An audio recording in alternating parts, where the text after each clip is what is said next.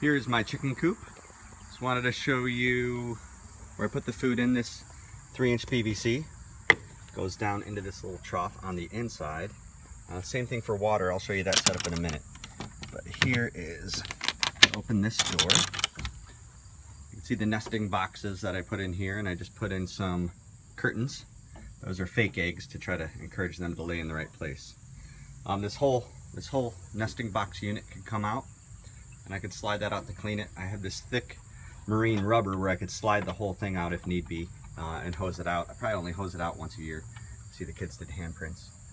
There's a sliding door that I put that goes around here to the outside um, to that rope up there. So this is the back where I collect the eggs.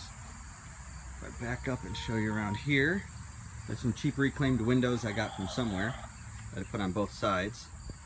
And then I tin roofed it. You hear Martha over there. She's very curious.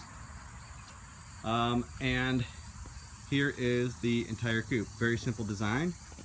But I put, um, now the water. The water system just goes down to a five gallon bucket. Five gallon bucket that I have here. And I put those little chicken water nipples on the bottom, just three of them the side. The idea is that I could pull that top off and clean it out whenever I want, which I haven't yet, but, um, but can if I need to. I also plan on putting a coiled submersible water heater in there because I'm in Cleveland and it gets, uh, it gets cold, very cold in the winters. Now I needed a temporary coop and I was in a pinch, so I reclaimed the girls' little house because a couple were hurting each other. I put chicken wire, I put chicken wire on the girls' house because they're older and never played it in anyway. So now this is a um, a designer chicken hut for uh, some of the more ornamental birds that aren't as that can't defend themselves as well. Um, that's what I got going on. Got two silkies, got a couple buff Orpingtons. I think that's a Mille Fleur, I'm not sure.